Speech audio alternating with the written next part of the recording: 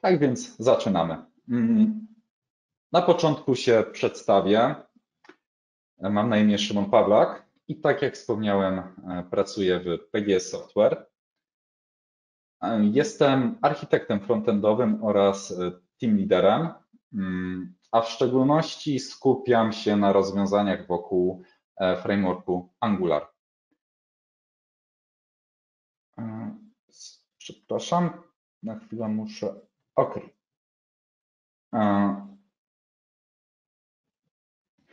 Tak, też wspomniałem, że jestem team liderem mm, i mam przyjemność w firmie prowadzić osoby, które właśnie pracują na frontendzie i uczestniczyć w ich rozwoju. Mm, temat mojej prezentacji to jest Enix Panaceum na wszystko. I przechodząc do agendy, mm, chciałbym, tak jak widzicie w tych sześciu punktach, na początku zwrócić szczególną uwagę na to, że architektura frontendowa jest bardzo istotna.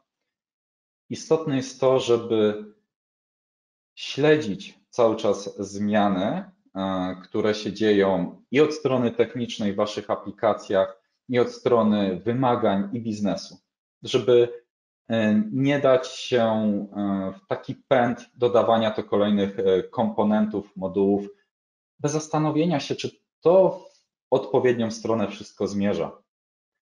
Chciałbym przedstawić Wam moją historię w odniesieniu do projektu, który miałem przyjemność realizować w firmie i pokazać taki ciąg przyczynowo-skutkowy, mm, na, jak, na jakiej podstawie wybrałem pewne rozwiązanie do tego, do tego projektu. Mm, kolejny temat to jest, wpisujesz w Google Frontend Architecture, tutaj powinno być e, Frontend Angular Architecture. Mm, od tego zaczynamy, tak? Wpisujemy w Google i patrzymy, co tam jest. Chciałbym pokazać Wam, co tam znalazłem. Później przejdziemy do porównania monorepo versus multirepo, ponieważ jest to jeden z mm, istotnych aspektów przy projektowaniu architektury frontendowej. E, tak jak się można domyśleć, piąty punkt mówi Enix i inni. E, poniekąd padło na rozwiązanie w moim przypadku Enix. Chciałbym wytłumaczyć dlaczego oraz przedstawić e, konkurencję, inne rozwiązania. Szósty punkt to jest już e, luźna, luźne przemyślenie e, pod e, de facto takim terminem stronę mikrofrontend. Jak to się ma do całości? OK. Tutaj mamy zdjęcie typowej ewolucji architektury, nie tylko frontendowej, ale tak jak widzicie w całości. 2010, przed 2010 rokiem to jest głównej mierze monolit. Od strony backendu, jak i frontendu. Mm, frontend de facto jest e, generowany przez serwer. E, frontend e, wygląda tak, jak wygląda. Mm, oczywiście nie z tego tytułu, że pisali go backendowcy, tylko były gorsze narzędzia. Ale idziemy dalej. Idziemy dalej i mamy rozłam, podział. Dzielimy sobie backend y, i frontend i pomiędzy tym mamy jakąś e, wymianę danych. SOAP, JSON, w szczególności JSON teraz. Czyli co? Backend e, idzie swoim życiem, frontend idzie swoim życiem. Idziemy dalej i frontend jest cały czas monolityczny, a po stronie backendu zaczynają się y, takie rzeczy jak mikroserwisy, czyli jeden team, y, który dostarcza mm, o end-to-end pewne rozwiązanie.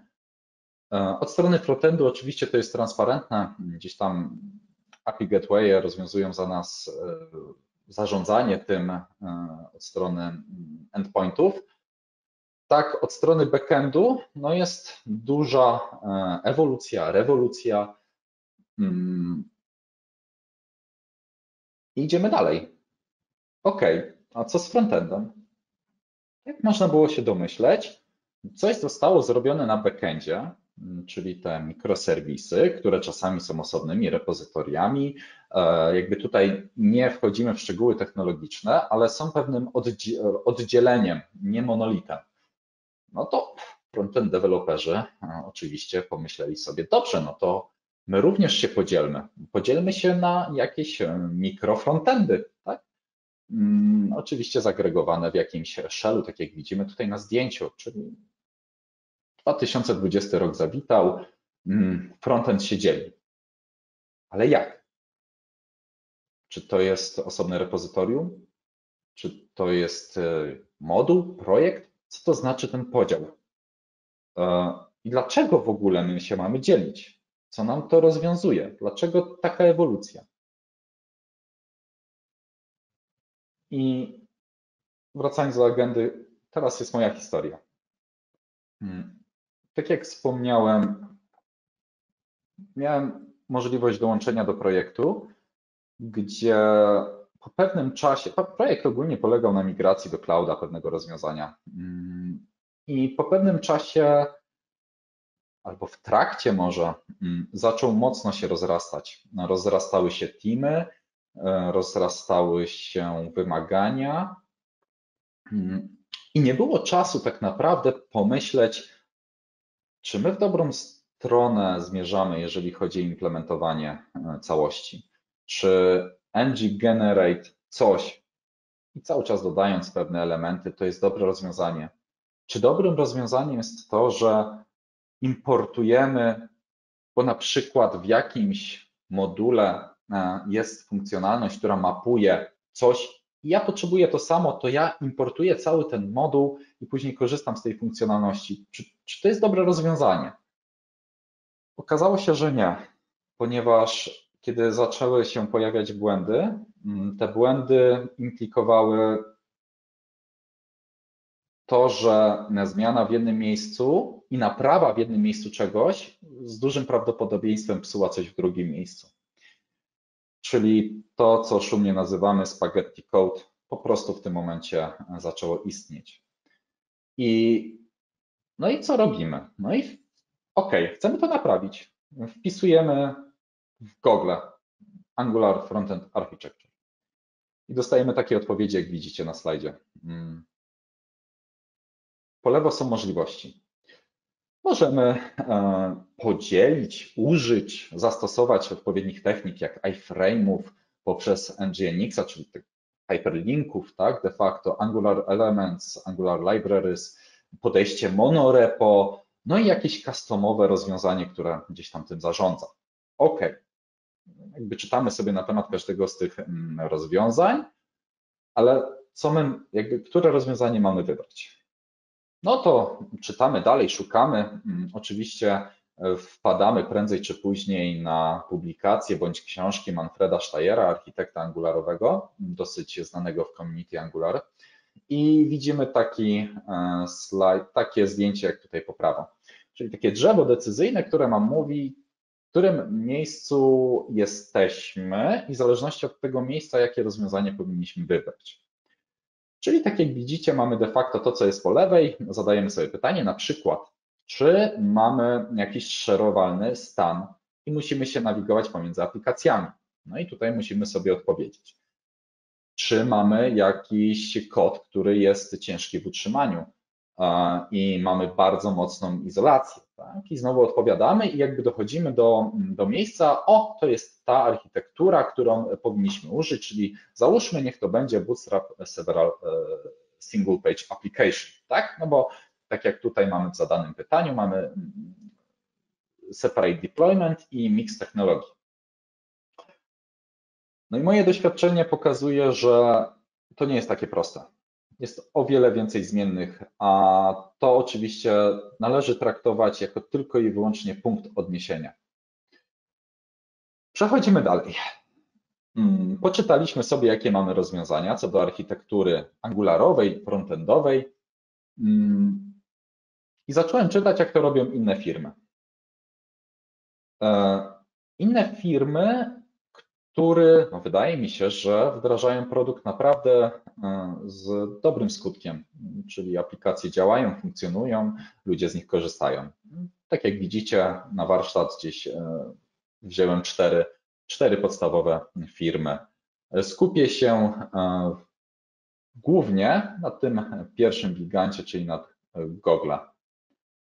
A dlaczego? A dlatego, że jak sobie wpiszecie w Google Advantages and Disadvantages of a Monolithic Repository, a Case Study at Google, to będziecie mieli bardzo fajne, mm, no właśnie, case study, które napisało Google na temat ich podejścia i ich architektury.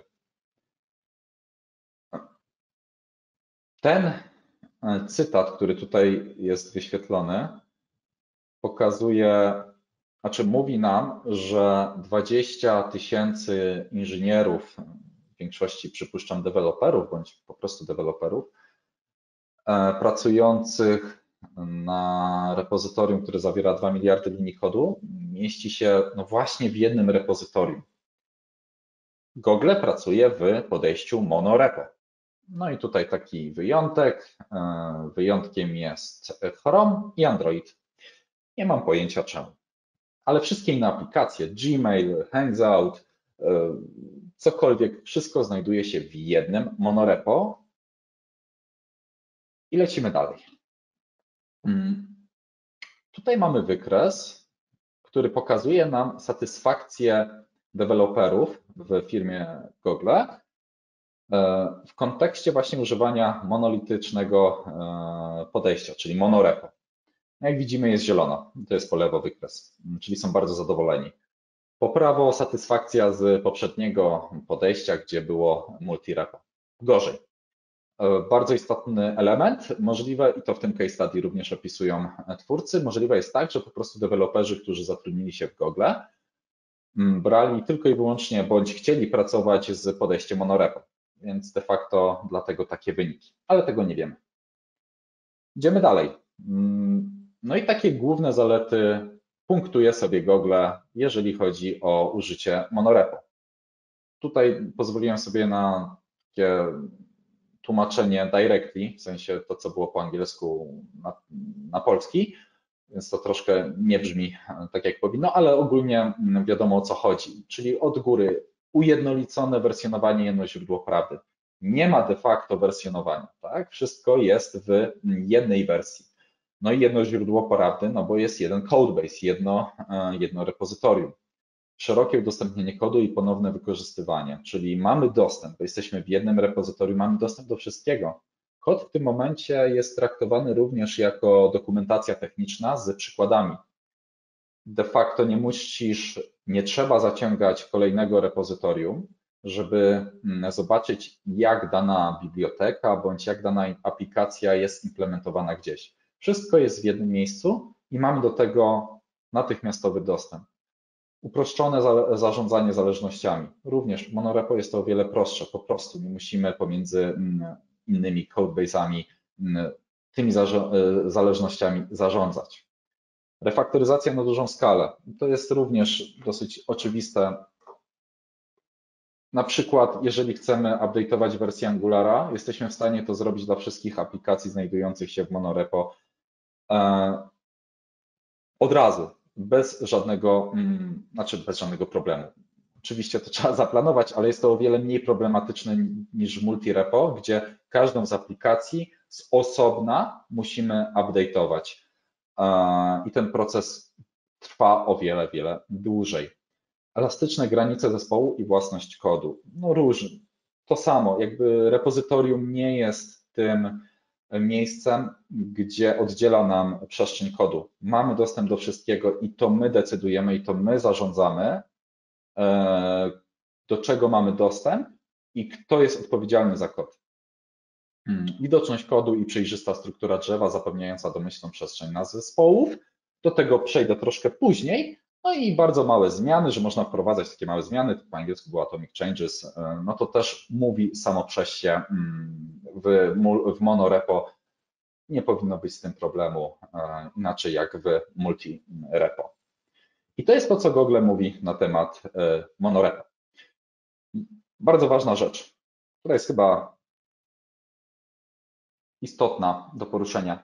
Google używa swojego customowego narzędzia do wersjonowania, które również jest narzędziem do Continuous Delivery, Continuous Deployment Piper.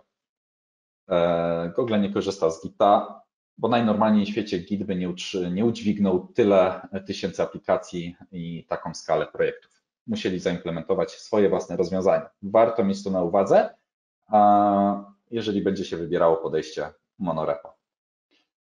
I teraz zdjęcie, które w naszej firmie bardzo często się pojawia, mm, jeżeli rozmawiamy w kontekście wyboru mono, multi-repo, podejścia właśnie mikrofrontendowego, czy e, podejścia, e, gdzie mamy wszystko w jednym repozytorium.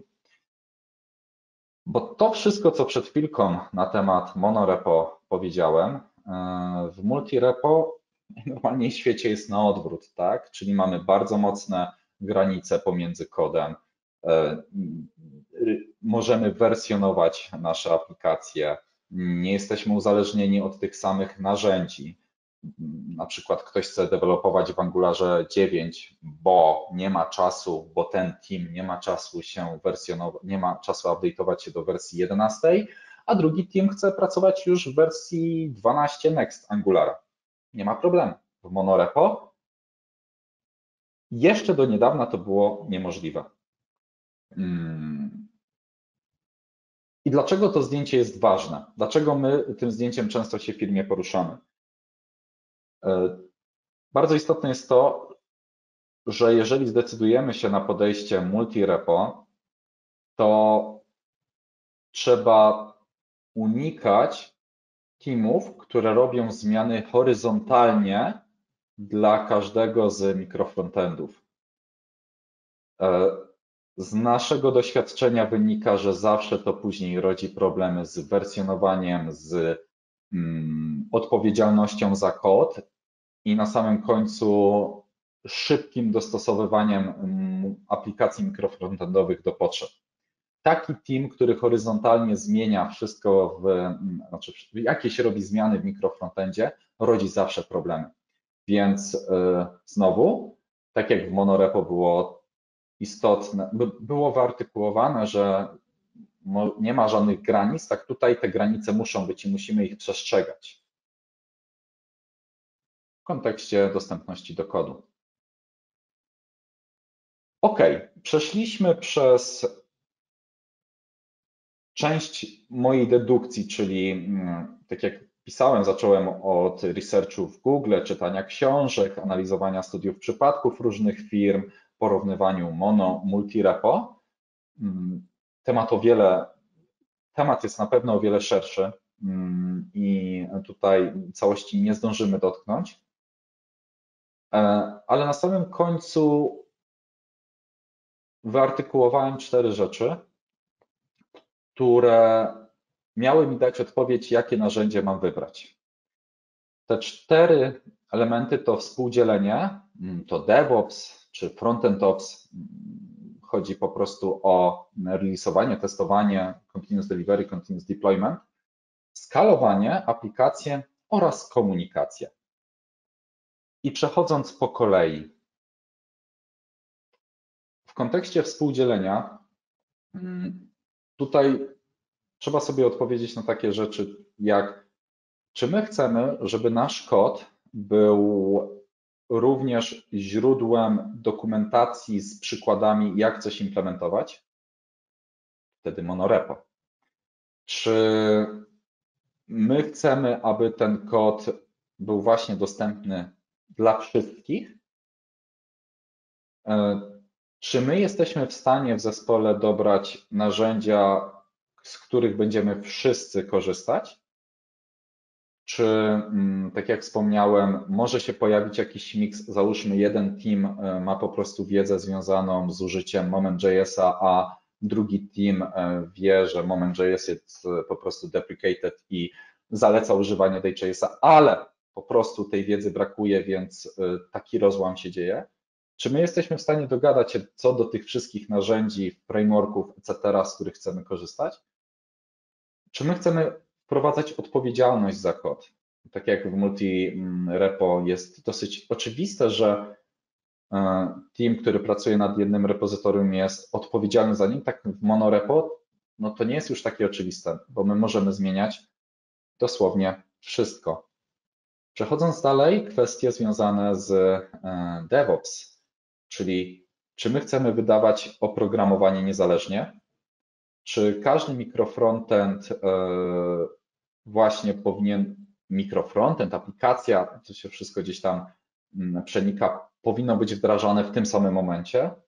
Jak powinien wyglądać proces testowania?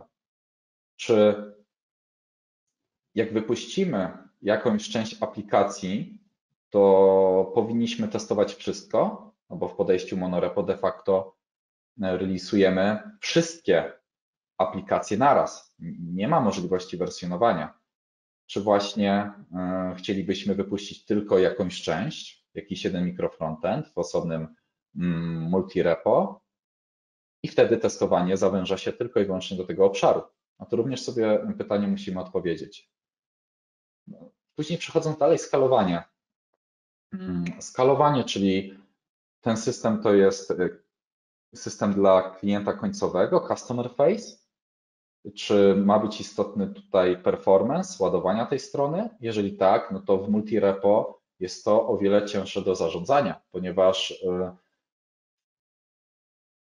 tutaj cały czas muszę dodać, y, cały czas muszę mm, dodać taką informację, że rozmawiamy o takim ortodoksyjnym podejściu, ponieważ tak jak zachęcę już do kolejnej prezentacji, Marcin przedstawi, że to nie jest takie zero-jedynkowe, jak to teraz opowiadam, e, ale ja się skupiam na tym ortodoksyjnym podejściu, żeby była taka jasna granica pomiędzy multi, multi i monorepo. Więc wielkość pakietów w multirepo, jak mamy różne mikrofrontendy, no każdy mikrofrontend zaciąga e, swój e, framework, tak? czyli wielkość bundli rośnie, performance maleje. Tak? Jak często chcemy realizować jakieś globalne zmiany, jak właśnie aktualizację frameworka czy rebranding, w multirepo no, dla każdego z mikrofrontendów, projektów musimy to robić z osobna, powtarzać często procedurę, testy, etc. w monorepo. Możemy to zrobić w jednym momencie dla wszystkich aplikacji naraz. Y, I Google tak robi. Mm, Google na przykład, y, to jest też dosyć interesujące, pracuje ze wszystkimi swoimi, o ile się nie mylę, 2800 aplikacji jest, które korzysta z Angulara, mam nadzieję, że się nie mylę, bo teraz z pamięci mówię, i one wszystkie są na, tym, e, na tej samej wersji Angulara, czyli najnowszej i nie ma problemu z aktualizacją. I na samym końcu coś, co spina te wszystkie elementy, a mianowicie komunikacja. Mm, komunikacja, czyli tutaj napisałem po prostu e, prawo Conveya, które w skrócie mówi nam o tym, jak wygląda struktura mm, naszej firmy tak, takie to ma odzwierciedlenie w strukturze naszego oprogramowania. Czyli przykład skrajny. Jeden produkt e, tworzą różne firmy, różni vendorzy, to wyobraźcie sobie pracę na monorepo. Kompletnie z innych krajów, mogą to być ludzie z innym podejściem, z innymi narzędziami, etc. Tak? To jest skrajne skrajny przykład tego, jak właśnie prawo Conveya e, ma się w odniesieniu do tego, do jakiej architektury my powinniśmy dożyć w oprogramowaniu, którym tworzymy. Musimy sobie po prostu zadać pytanie, czy my wiemy, co team obok robi, czy my jesteśmy na bieżąco z jego zmianami, czy my kompletnie nie mamy zielonego pojęcia, jest to odseparowane. I tutaj już się nasuwa odpowiedź, z jakiego podejścia powinniśmy skorzystać. Odpowiadając na te wszystkie pytania, które przed chwilą e, przedstawiłem, w moim wypadku mm, padło na rozwiązanie monorepo, a w późniejszym etapie Enix. Mm, I dlaczego? Teraz przedstawię to, co w monorepo przedstawiłem jako minus, a Enix powoduje, że de facto jest zarządzalne i nie jest minusem przedstawię cztery elementy, które moim zdaniem są e, najważniejsze. A mianowicie magiczna komenda affected. Ta komenda powoduje, że pracując w jednym e, repozytorium mamy możliwość rozeznania, który kod, które części kodu zmieniliśmy i tylko dla nich wywołać odpowiednie skrypty. E, pierwszy przykład z brzegu. Mamy bibliotekę szerowalnych komponentów, jakieś batony, inputy, etc. I zmieniliśmy tą bibliotekę. Zupdate'owaliśmy baton i wszystkie nasze projekty korzystają z mm, tej biblioteki. Affected rozezna to i, będzie, e, i będziemy w stanie wywołać wszystkie odpowiednie skrypty dla wszystkich naszych e, projektów. Drugi przykład, e, który jest skrajny, zmieniliśmy tylko coś w jednym projekcie, który jest w tym repozytorium. Affected spowoduje, że wszystkie elementy, testy, linty, buildy będą wykonywane tylko w odniesieniu do tego jednego projektu. Magia, magia efektu, którą bardzo ciężko zaimplementować e, samemu. Jest możliwe, ale ciężko. Co za tym idzie, mamy możliwość wyświetlenia poprzez Enixa mm, dependencji grafu, który przedstawia nam, no właśnie, zależności w naszym projekcie. E, jeżeli te zależności będą wyglądać tak, że tych strzałek e, będzie strzałka na strzałce i komponenty nie będą się mieścić na jednej stronie, no to idąc klasykiem wiedz, że coś się dzieje. To nie jest architektura utrzymywalna, skalowalna. Warto to śledzić, co jakiś czas odpalać i patrzeć, czy te zależności nie zaczynają, czy mamy nad nimi cały czas kontrolę. I kolejna rzecz, o której wspomniałem w monorepo, która była dużym plusem w multirepo, to jest to, że Mm, w multirepo była jasna granica tego, kto z jakich zasobów powinien korzystać, bo po prostu repozytorium oddzielało całość.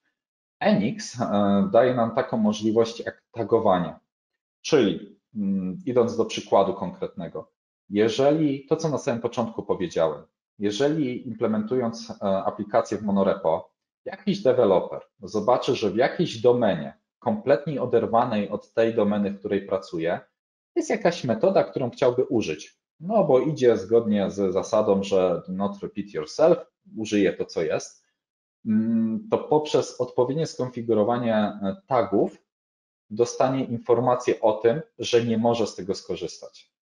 Bo po prostu ta domena nie może być używana przez tamtą domenę. W takim wypadku po prostu będzie musiał napisać na nowa bądź copy wklej zrobić tego elementu tagi dają nam możliwość zarządzania tymi relacjami, żeby nie powstał na samym końcu spaghetti, spaghetti code, który będzie znowu ciężki do utrzymywania. E, Enix również daje nam, tak jak napisałem, nowoczesne i sprawdzone narzędzia na start do mm, Angulara. Nie musimy ich konfigurować. E, od razu mamy Cypressa do, e, do testów end-to-end, komponentowych, integracyjnych, jakichkolwiek sobie wymarzymy. Mamy Storybooka. Mm, jeszcze rok czy dwa lata temu Storybooka skonfigurować z Angularem było bardzo ciężko, a tutaj mamy to po prostu dodając Enixa do naszego projektu. Zmieniamy framework do testów jednostkowych. E, Enix preferuje Jesta, ja również preferuję Jesta. E, na wielu projektach przekonaliśmy się, że Jest jest dobrym rozwiązaniem zamiast Jasmine. Oczywiście to jest e, zależne od projektu, od zespołu, etc. I dodaję również Prettiera, którego możemy skonfigurować, czyli analizę statyczną kodu. Nie musimy przejmować się analizowaniem tego, w trakcie code review, czy spacja, czy tab, czy jest odpowiedni import elementów. Wszystko możemy zrobić w Pytierze. Enix daje nam to od razu. No to jakie mamy alternatywy w kontekście zarządzania monorepo? Alternatywą jest Angular. Tak jak wspomniałem wcześniej, to co daje nam Enix to jest tak na dobrą sprawę nakładka, którą możemy napisać samemu. Poświęcając na to czas, mm, ale możemy to napisać. I w niektórych przypadkach będzie to na pewno lepsze rozwiązanie. Mm, konfiguracja Enixa to jest dodatkowa e, rzecz, którą trzeba zrobić, trzeba się znać, po prostu trzeba to umieć zrobić, a Angular ma po prostu workspace'y zaimplementowane sam w sobie. Możemy już w tym momencie pomyśleć na tym, ok, czy my zamiast na przykład dzielić naszą aplikację, bądź cały czas idąc w komponenty, moduły, nie wykorzystamy potęgi workspace'ów, które nam daje Angular. Możemy do tego dodać również takie narzędzie jak na przykład Yarn Workspaces, które nam daje możliwość zarządzania odpowiednio paczkami, package JSON-em, etc. Żywnie, co nam się podoba i mamy gotowe narzędzie. Oczywiście takie elementy jak affected, które Enix nam daje, czyli rozeznanie, który kod się zmienił i puszczanie tylko dla niego buildów, to jest rzecz, którą y, ciężko zaimplementować, ale znowu w naszym y, doświadczeniu takie rzeczy robiliśmy. To wymaga wtedy odpowiedniej pracy z Gitem i e, de facto można uzyskać dokładnie ten sam efekt. Oczywiście alternatyw jest jeszcze więcej, chociażby Bazel od Google'a również, ponieważ to narzędzie, o którym wspomniałem, Google korzysta, e, nie jest dostępne, to tylko i wyłącznie Google z tego korzysta. Bazel jest dostępny. E, Lerna to jest również narzędzie, z którego można korzystać przy zarządzaniu monorepo. Jest tego więcej. Mm, ja w tym momencie chciałbym tylko powiedzieć, że Angular również bardzo dobrze sobie daje radę z takim podejściem i w projektach takie podejście wdrażaliśmy i należy o tym pamiętać. A na samym końcu punkt e, w stronę mikrofrontend. Powtórzę się. To, co powiedziałem, czyli podział na multi, monorepo, to jest podział mocno ortodoksyjny. E, od pewnego czasu mm, Webpack 5 ma plugin, który pomaga nam w teorii pozbyć się minusów tego i tego rozwiązania i przynieść tylko i wyłącznie plusy. O tym narzędziu będzie, e, będzie opowiadać e, Marcin zaraz po panelu QA w w kontekście tej prezentacji. I to by było na tyle. Bardzo dziękuję za uwagę. Teraz płynnie przejdziemy do pytań i odpowiedzi. Poproszę o chwilę cierpliwości, żebym mógł sobie włączyć wszystkie pytania, zobaczyć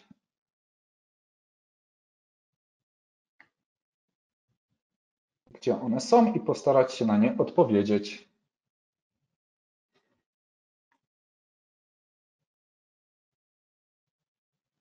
Jeżeli pytań nie będzie taka ilość, aby wypełnić ten 15-minutowy slot, to pozwolimy sobie zrobić przerwę i przejdziemy do następnej prezentacji.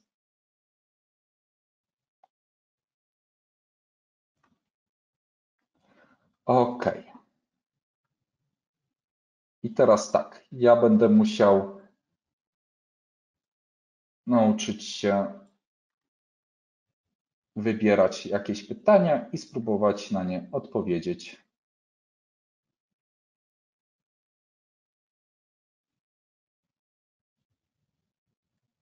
OK, dużo rzeczy związanych z technikaliami.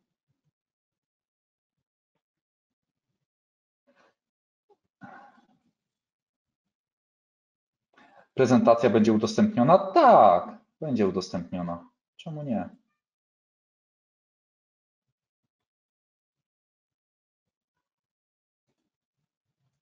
Odpowiedź, dlaczego Android i Chrome jest w repozytorium Google'a. Ciekawe.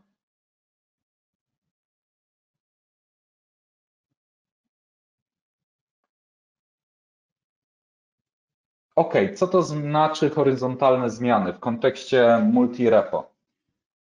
Chodzi o to, że każdy mm, mikrofrontend będzie miał swój team. Czyli mamy mikrofrontend A, mikrofrontend B i mikrofrontend C, na przykład. Mm, I każdy ten team jest odpowiedzialny za to, żeby dostarczyć swoją wersję mikrofrontendu. I to są zmiany wertykalne. Tak, każdy team jest odpowiedzialny za swoją część aplikacji. Jeżeli pojawi się team, e, który pracuje i na mikrofrontendzie A, B i C i robi tam zmiany, to to są właśnie horyzontalne zmiany. Nie wiem, czy mnie widać, ale tu jest jeden mikrofrontend, drugi, trzeci i przelatuje jakiś team i robi we wszystkich mikrofrontendach zmiany. To powoduje problemy w utrzymaniu i wersjonowaniu. To są właśnie horyzontalne zmiany. Mam nadzieję, że to jest zrozumiałe.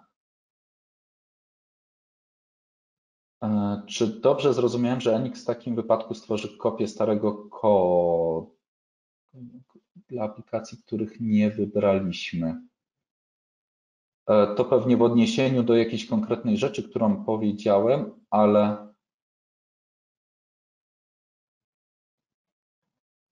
Wojciech Grabowski, Peer formatowanie, analiza statyczna. Tak, racja, przepraszam, jeżeli powiedziałem, że analiza statyczna mój błąd, to jest formatowanie.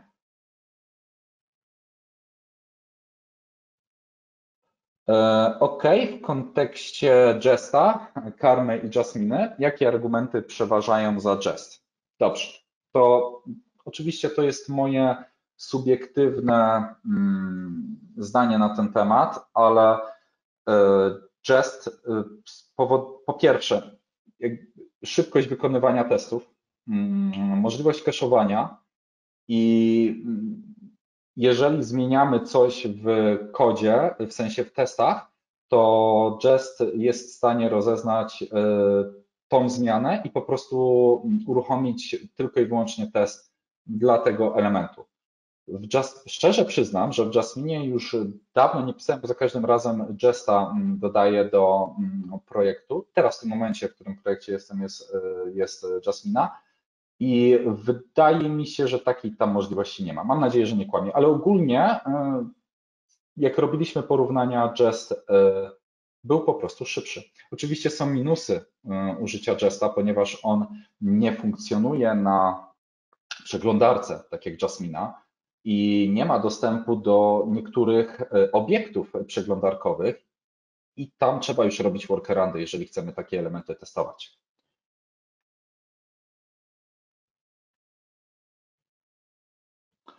E, Enix jest wspierany przez Narwala. Czy nie lepiej bezpieczniej użyć w długofalowym projekcie rozwiązań, które mają long-term support zagwarantowany przez Google?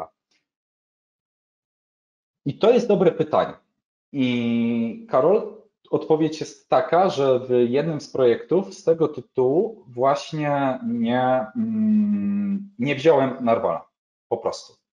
Bo e, tak jak sam zauważyłeś, de facto nie wiemy, czy to narzędzie będzie wspierane E, ale tak na dobrą sprawę, tak jak wspomniałem, wszyscy, no, inaczej, duża, duże grono architektów frontendowych mm, bazuje na tym rozwiązaniu i bardzo wydaje się mało prawdopodobne, żeby ten projekt został odpuszczony. Tym bardziej, że teraz Enix wprowadził na przykład Enix Cloud, e, bardzo mm, dobrze monetyzujące się narzędzie, które de facto jest bardzo też dobrym narzędziem pozwalającym przyspieszyć projekt developmentu, proces developmentu. Wydaje mi się, że te narzędzie jeszcze będzie długo, długo, ale racja, to nie jest oficjalnie wspierane przez Google.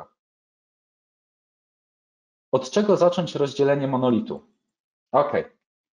E, od tego, żeby znaleźć, to, to jest jakby luźna myśl, znaleźć e, taki moduł i taką aplikację, znaczy inaczej, moduł, znaczy w zależności jak to jest podzielone, która jest faktycznie szerowana i używana we wszystkich aplikacjach i to wyekstrahować do jakiejś osobnej e, struktury plików. Czyli mieć po prostu, to będzie oczywiście trochę źle nazwane, ale shell, który będzie zawierał wszystkie aplikacje i bibliotekę szerowalną, która będzie poza tym i będzie importowana tutaj. Oraz jako kolejny krok zaplanować sobie jaką kolejną aplikację możemy sobie wyekstrahować z tego monolitu i krok po kroku wyekstrahowywać te aplikacje. W takim kluczu też robiliśmy to w jednym z projektów. Jak wygląda proces code review? Kto zarządza i nadaje ograniczenia i dependencies?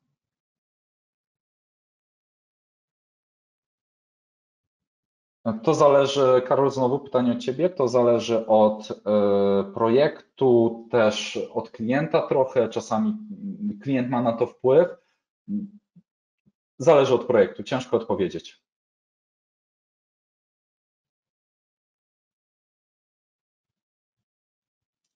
Karol, dużo pytań od Ciebie.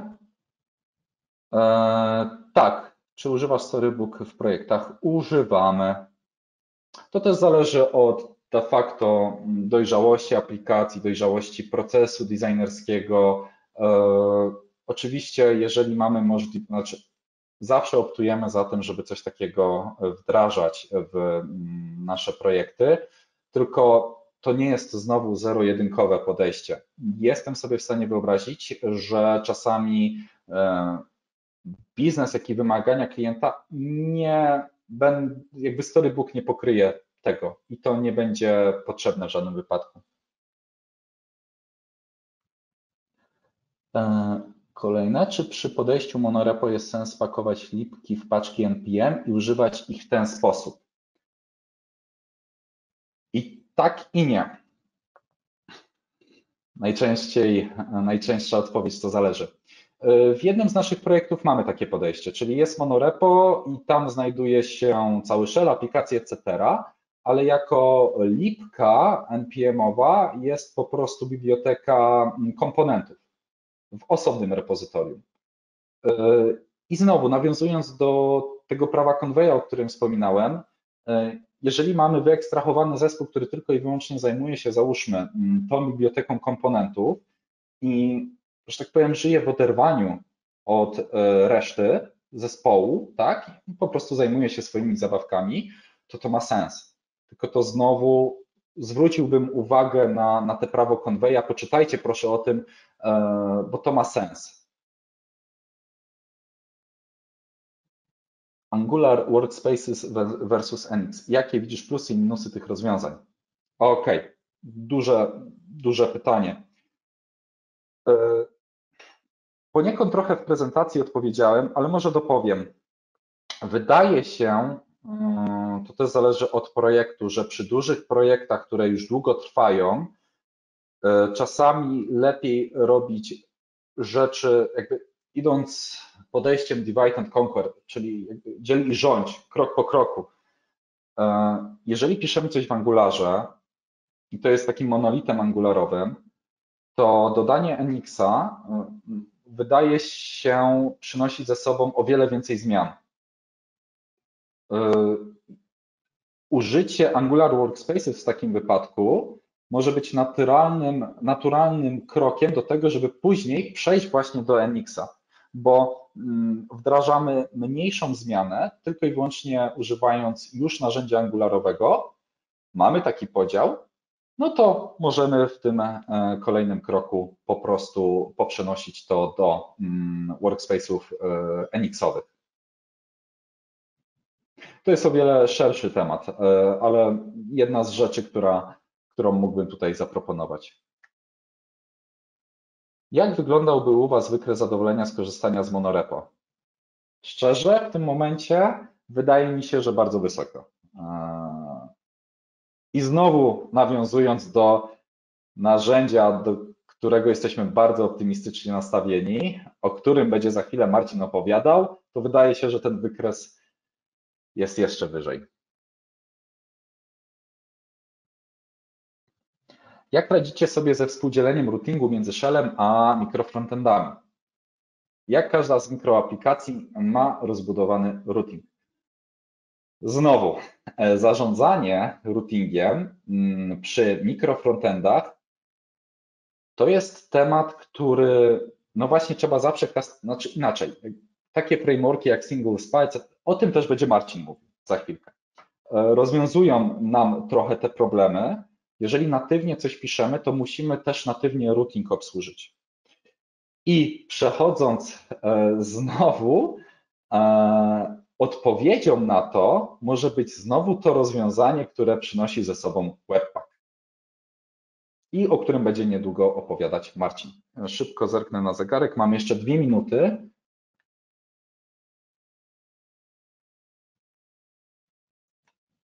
W jaki sposób wykorzystujecie Enix do tworzenia mikrofrontendów i w jaki sposób je ze sobą integrujecie? Czyli znowu, w ortodoksyjnym podejściu Enix, i to jak poczytasz dokumentacji od Sawickina, twórcy Enixa, mówi nie róbcie takiego podejścia mikrofrontendowego, czyli wersjonowania, czyli osobnych release'ów, etc. E, tutaj mikrofrontend jest w obrębie mm, tego repozytorium i nie mamy wersjonowania, etc., etc., więc jakby używając ze sobą podejścia Enixowego. Znowu, narzędzie, o którym zaraz będzie mówił Marcin, może to zmienić. Monorepo, a wypuszczanie oddzielnych e, wersji dla różnych klientów, forkowanie, czy jakaś inna metoda? Inna metoda, o której będzie mówił zaraz Marcin.